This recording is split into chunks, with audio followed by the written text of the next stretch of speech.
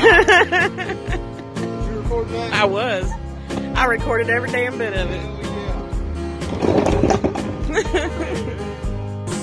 Hello, everybody. We're making our trip around Oklahoma. We got Gidget here, Fossil Creek Kennel. That's my new mule. That's Little Finley. We're gonna make a rounds. We're gonna go see illegal outdoors. I gotta go get a dog box here a little bit. Lackeys outdoors behind the counter. We got a message. Finley River Kennels, Fossil Creek Kennels. Hey, Cody Pie, what's up, brother? Can't touch this. Da, da, da, da, da. You can't touch this. Da, da, da, da. CP Grand Outdoors, you can't touch this. You can't touch this. Ah, I told you I was a Italian stallion. We'll see y'all.